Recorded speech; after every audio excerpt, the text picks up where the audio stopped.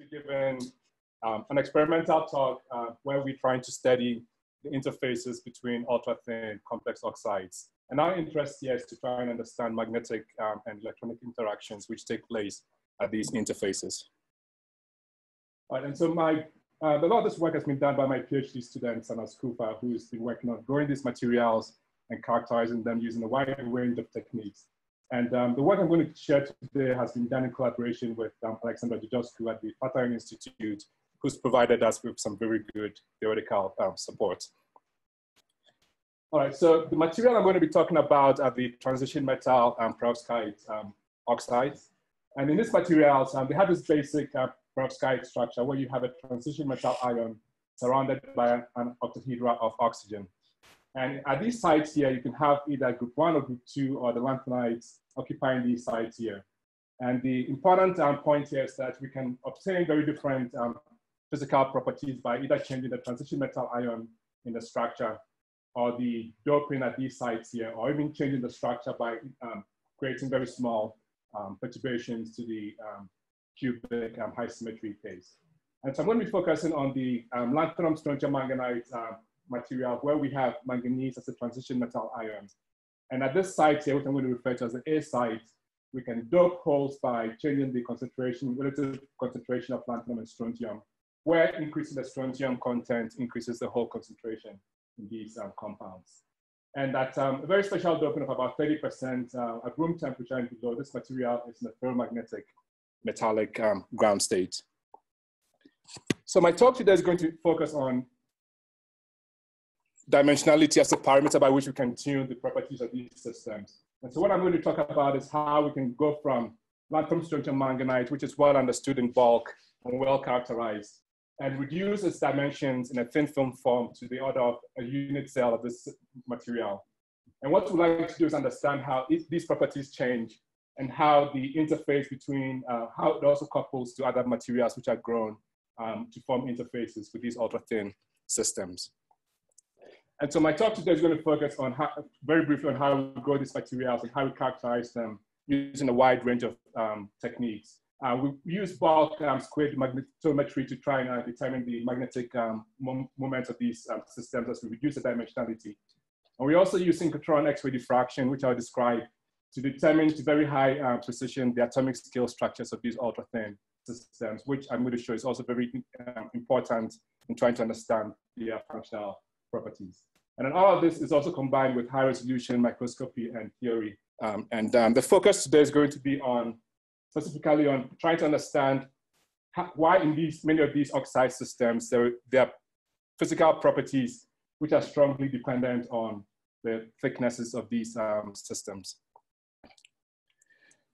And so in the case of lanthanum um, strontium manganite, there's a very strong coupling between the lattice structure and the magnetic properties and um, transport properties due to the fact that um, there's a super exchange which takes place between the transition metal d orbitals, which are um, strongly directional, the bridging oxygen, oxygen p orbitals, and then the next um, neighboring um, transition metal d orbital. And so what we can do to tune the properties of these materials from an experimental point of view to tune bandwidth and to tune hopping and to tune the super exchange magnetic interactions is that we can distort, we can, we can grow these materials in ways by which we can distort these octahedra, either by causing them to rotate more or less in their bulk um, um, structures, or we can apply compressive or tensile strain to um, um change the distances between these um, oxygens and the transition metal ions.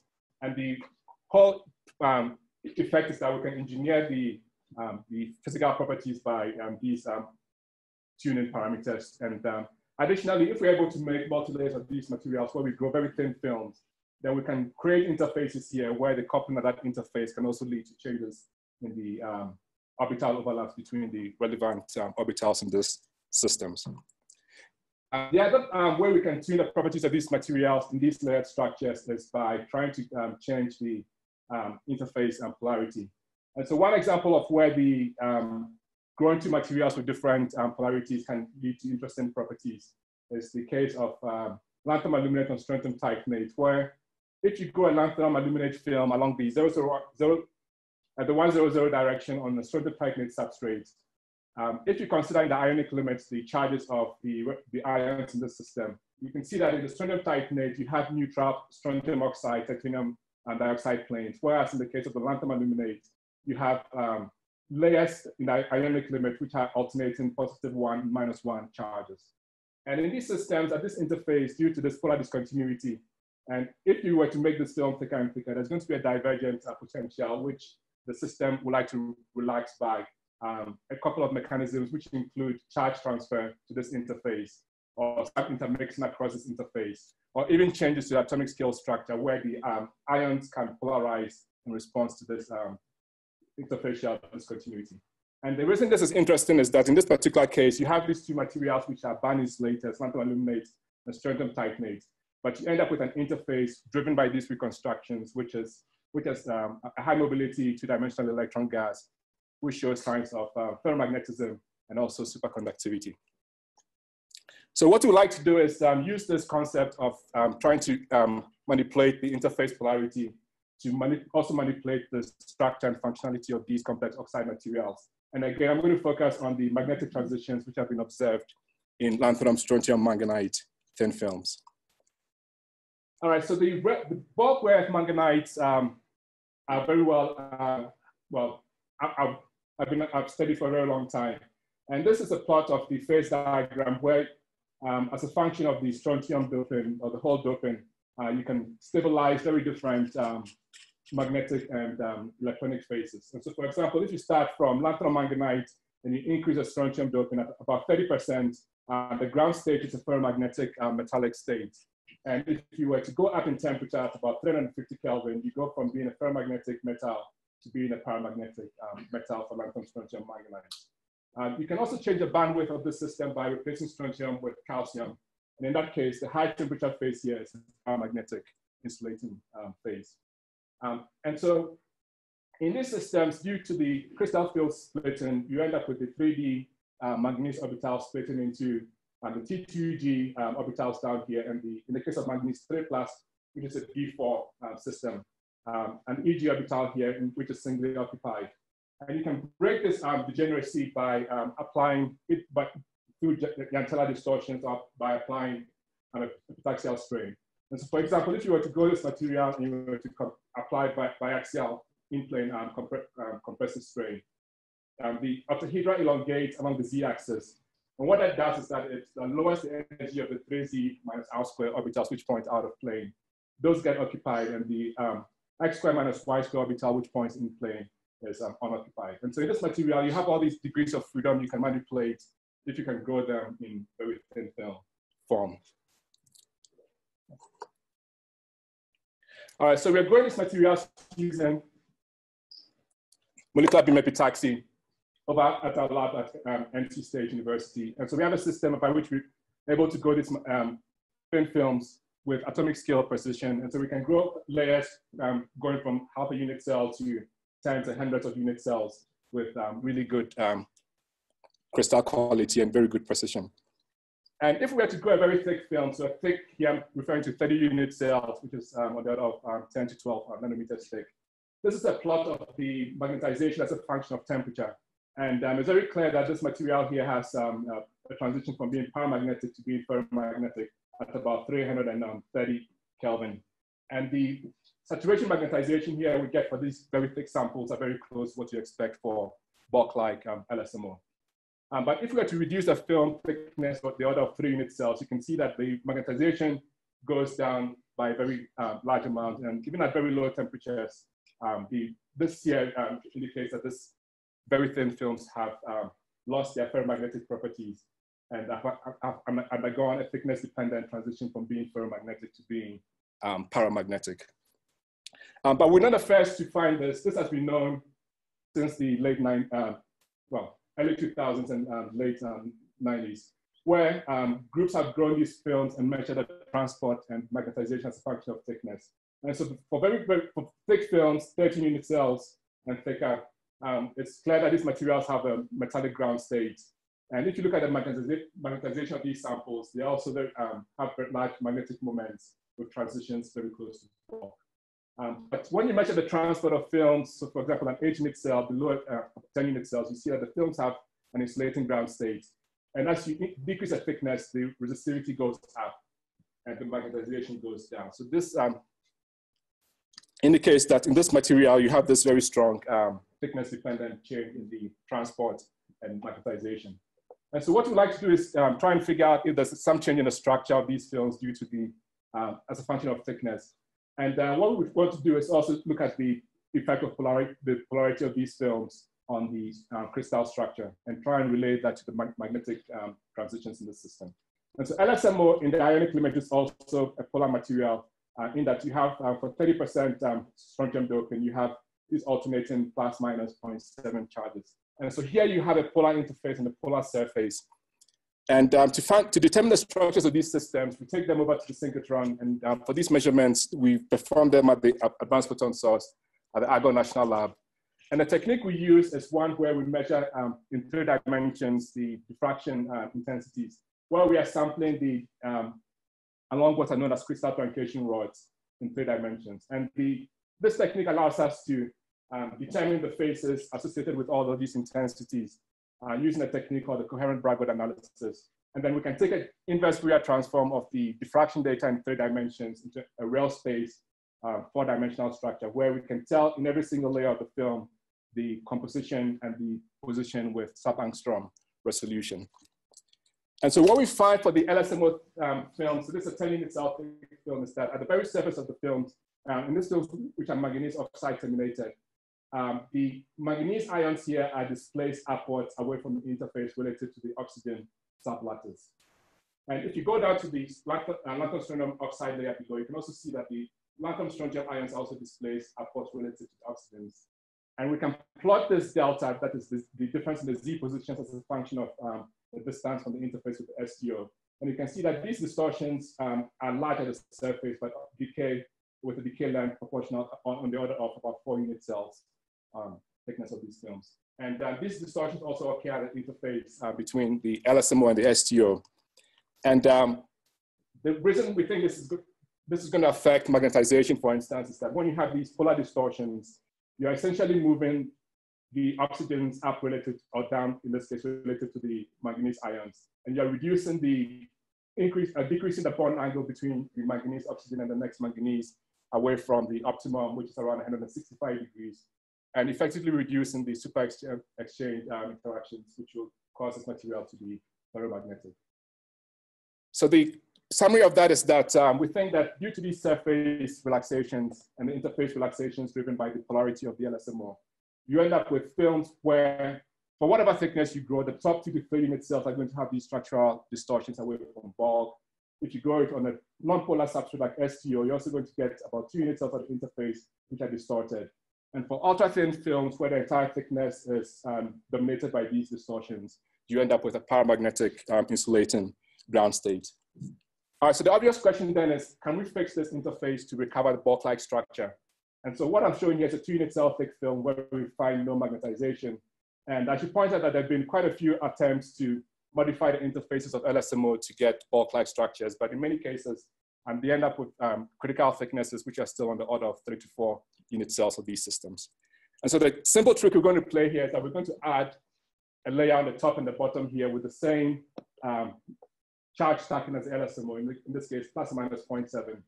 And so we're going to do this with a material where we're going to maintain the same A site um, as lanthanum and strontium. And um, the B site we're going to use here, the X is going to be chromium. And the reason we're choosing chromium um, has to do with the fact that the chromate, lanthanum strontium chromate is antiferromagnetic in bulk. So we're going to expect it to contribute to the magnetization. It has the same lattice distortion as the LSMO, so we, we don't expect any structural distortions at the interface induced by the structure of the LSCO. And um, what we also find is that the, all right, I'll speed up. Um, one issue with using things like iron as the transition metal ion is that you end up with a very large charge transfer from the iron to the manganese, which also dopes the LSMO away from what you think um, it should be. And so in this case, we find out that chromium works very well because it suppresses this um, interfacial charge transfer. All right, so for two unit cells of LSMO by itself, there is no magnetization. When we add the chromates to the top and bottom interface, we see from SQUID measurements that there's a finite magnetization, which implies that um, by inserting these uh, spacer layers here, we've been able to engineer ferromagnetism back into this system. And um, we, can, we can change the LSMO thickness and keep it the chromate spacer layer thickness at three unit cells. And we find that the net magnetization goes up with the LSMO thickness, and the TC also goes up to room temperature as we increase the LSMO in this case. All right, and so we took the samples back to the synchrotron to just make sure that we're indeed removing these um, ferrodistortive um, instabilities. And uh, for a four-unit cell thick LSMO on STO, we find out that the films have, have these very strong polar distortions. And one can, put LSCO on both sides of the LSMO film, so these regions here are the manganite, manganese oxygen planes, the distortions go to zero, and the distortions are now concentrated at the LSCO, which is at the top surface of these films. All right, and so we also wanted to verify that indeed um, the magnetization we're measuring is not coming from the chromate but, uh, alone, but coming from manganese layers. And um, I don't have time to go into the technique, but we're using a technique called X-ray magnetic circular dichroism, where we apply a film in plane uh, to the sample, and we measure with circularly polarized lights the absorption at the manganese L edge. And at, at the manganese L edge, we find out that um, there's a positive dichroic, uh, dichroic signal, which implies that the spins in the LSMO are aligned with the field as we expect. Um, but um, the chromate, which in bulk is uh, anti-ferromagnetic, um, we found we expected a zero signal, but we found out that there was negative XMCD signal, which implies that the chromate spins are anti-aligned with the applied magnetic field. And so what this implies is that there's some anti-ferromagnetic exchange at the interface between the manganese and the chromium, which is causing the chromate spins to be anti-aligned with the field. We can do a temperature dependence of this XMCD signal at the chromium and the manganese edge, and they follow the same dependence as we expect, as we find in these squid measurements. And this is representative of this sample here.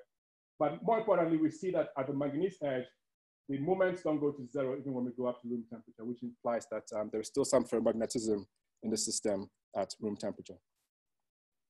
All right, and so to try and explain why we have this um, thickness dependence in the net moment, and since we know that there's some contribution from the chromate, what we wanted to do now was um, grow superlattices of these samples where we can um, more reliably extract the chrom chromium moment and the manganese moment. And this is a TEM just showing that we can grow these films with very good um, crystal and structural order. And by assuming that the total magnetization in these squid measurements was coming from the negative chromium and the positive um, manganese layers, uh, we can now plot as a function of the ratio of the chromate and manganese thickness, the squid magnetization. And this is a very simple line here, which whose um, slope here is negative, and that represents the chromium um, magnetic moment, which we know have to be negative from the XMC, XMCD measurements. And the intercept here tells us the manganese moment, which we find here is very close to what we expect for bulk. So we, we are very confident that what we are seeing here is a total recovery of the bulk-like moments in the manganese. And the squid measurements here imply that the energy scales for these um, transitions here are set by the combination of the interactions between these two layers.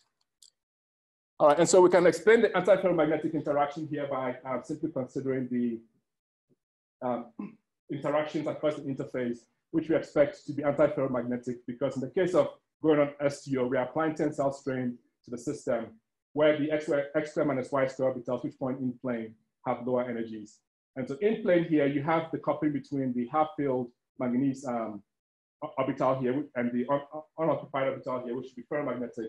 And out of plane direction, um, because you are coupling these two orbitals here, which are unoccupied, the Goodenough-Kanamori rules um, tell you that you should have anti-ferromagnetic um, exchange across this interface. All right, so just um, in one minute, we've been playing games now by trying to change the strain to change these orbital um, um polarizations. We can grow these films even on LAO where we have about 2% compressive strain and still maintain good um, epitaxy.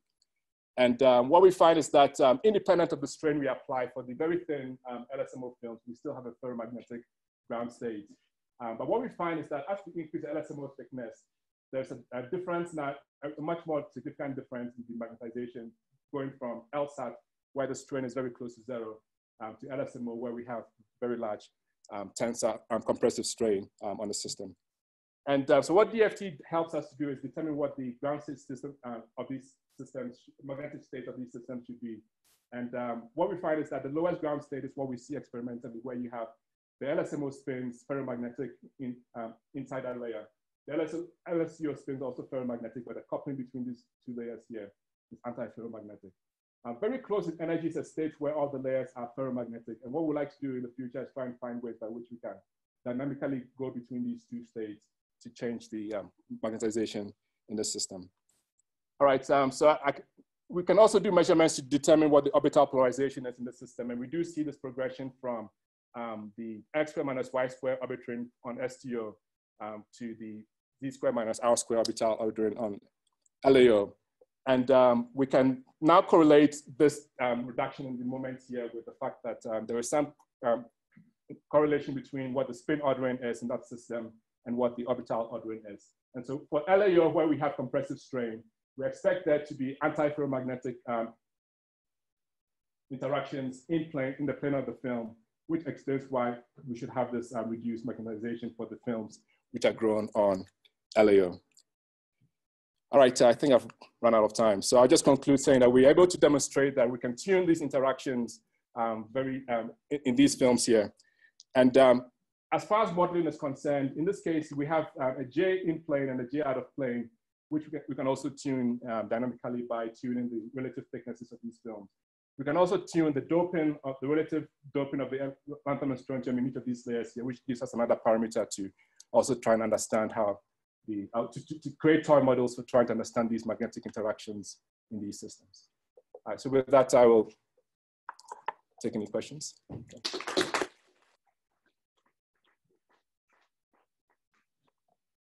Any questions? I, I probably missed something. You showed a slide where you looked at the distortion from the bulk structure as a function of distance from the interface. Yes, so that's for a thin film on, on a substrate. But, but it looked like as you got farther from the interface, the distortion was greater. See that correctly? Okay. Could you repeat the question, please? So the question is, um, he's asking whether the distortions were greater going from the interface. All right, I'll go to that slide.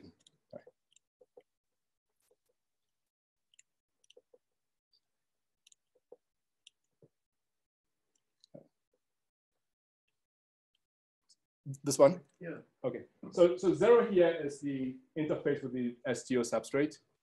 And um, the surface here has these distortions because you have a field, an electric field at the surface. So th th there is some effect of the surface due to the fact that it's negatively charged, which causes the positive ions to move up and the negative ions to move down to form a dipole to cancel out the surface electric field.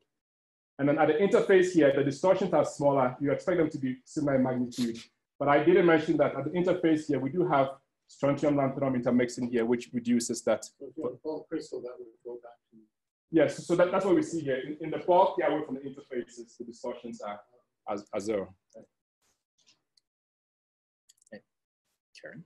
So um, going to the uh, one of the last slides you showed where there were the energetic, energetically favored um, anti-aligned yes. moments compared to aligned layers uh, in the system.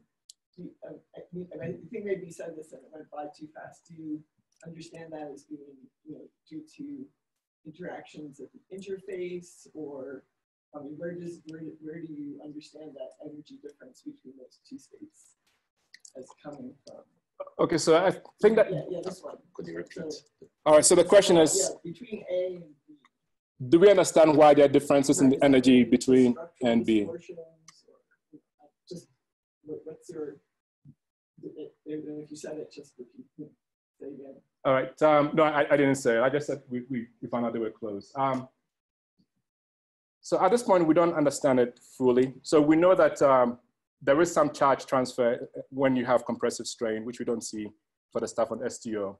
Um, and so in the case of STO, this energy difference is much bigger, but in the case of the LSTO and LSMO, this is much smaller. So what I'll have expected just from the Goodenough-Kanamori rules was that this would have been the ground state when we had compressive strain because you are lowering the energy of the x squared minus y squared, the, the, the orbitals pointing out of plane. And so the coupling between manganese and chromium, I'll have expected just from those naive, naive um, predictions to be ferromagnetic. And so I, I think there's some competition between the, in, the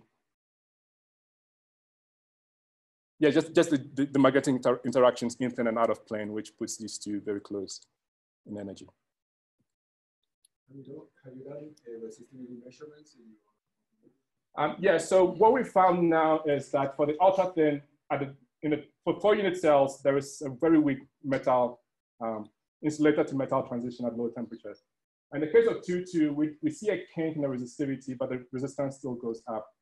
And we're not sure now if it's just due to the reduced dimensionality, which is reducing the bandwidth and keeping the charge localized, or if it's due to some something like charge ordering, which is um, coming into play in the system. Um, the DFT right now doesn't give us any indication of whether we should have a metal or insulating ground state. It, still says it should be a metal. And we'll have to do things like DMFT now to try and really tease out what the true, true transport uh, electronic ground state of the system should be. So I have a question as well. Uh, some MBE folks, especially those who want to grow semiconductors and have good mobility, worry a lot about dislocations. Um, is there a reason for you to be worried about dislocations at all in this system? Would you see them if they were there? Um, all right, so we've grown bad films where we've seen dislocations, but from TEMs, in these films here, we see uh, very few um, dislocations. Um, when we grow it on MGO, where the strain is, um, I think, four to five percent, there the film relaxes, and we do see um, strong evidence for dislocations. Um, but in, in, this case, so that should affect transport. Well, if there are no other questions, let us thank our speaker once again.